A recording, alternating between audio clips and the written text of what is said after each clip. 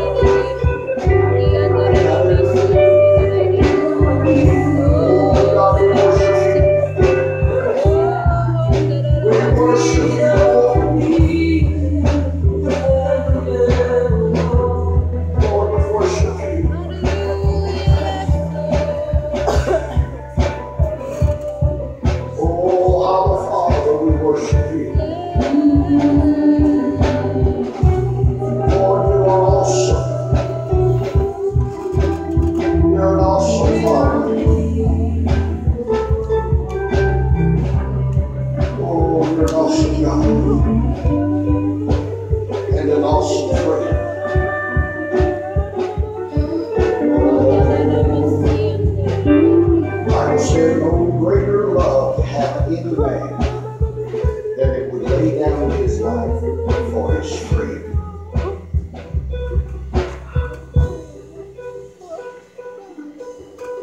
God said that I no longer call you servant, but I call you my friend. He died. See, we've got to take this thing personal. I know we're in a corporate this morning, but I take it personal. He died for me. Yes. Hallelujah. An old rich, an old drunk, an old drug addict that nobody loved. But one day,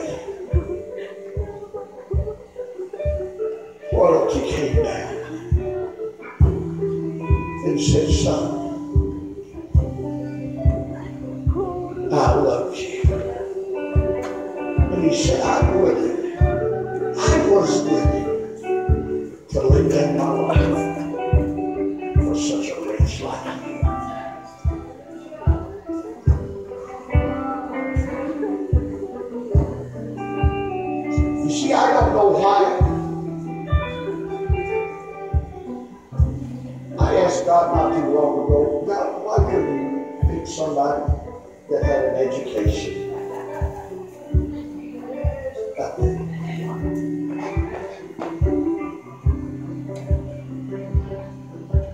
But see, God will take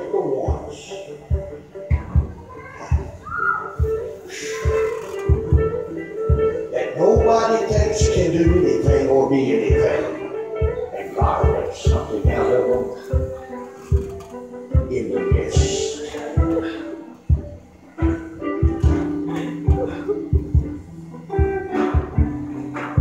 Hallelujah. It's been awesome to be here. I am so glad. After five years telling Sister Mary, I'll try.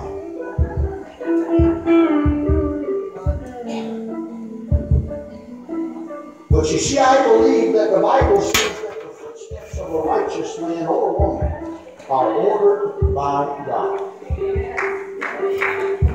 I believe it was appointed to be here at this time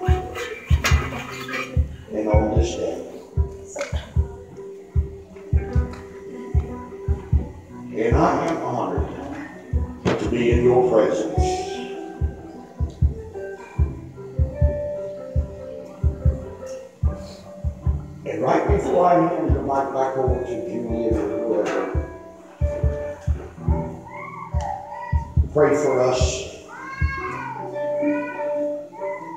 We're going to leave and get back on the plane Sunday morning and fly home. We're going to leave tomorrow.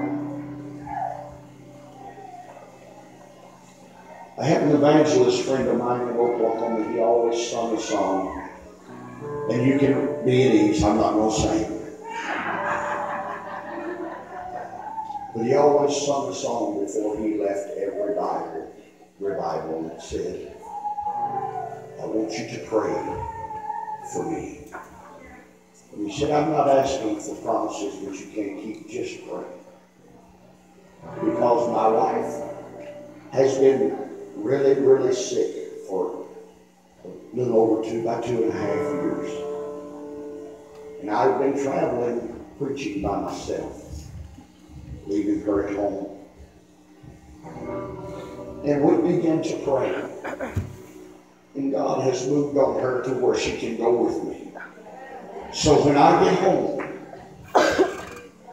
we're going to start praying. See, it's not about me, it's not about her, but it's about Him. And I want to do His will above everything else. If I can please Him,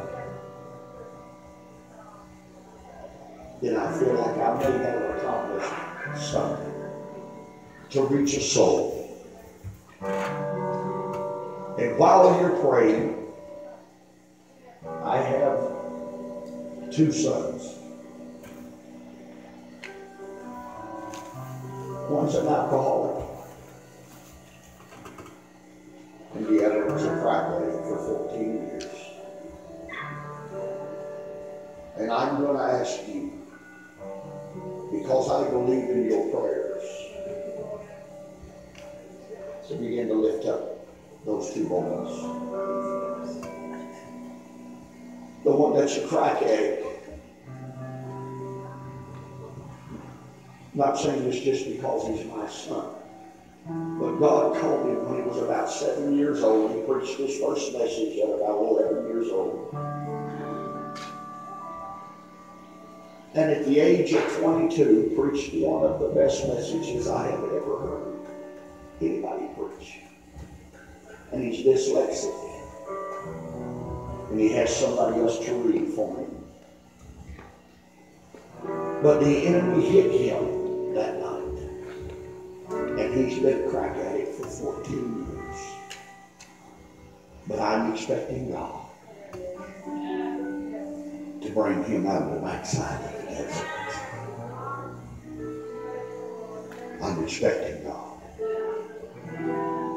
You pray and believe God with me, I believe in God that when I come back out next year for camp meeting, that I get to bring him with me. God bless you.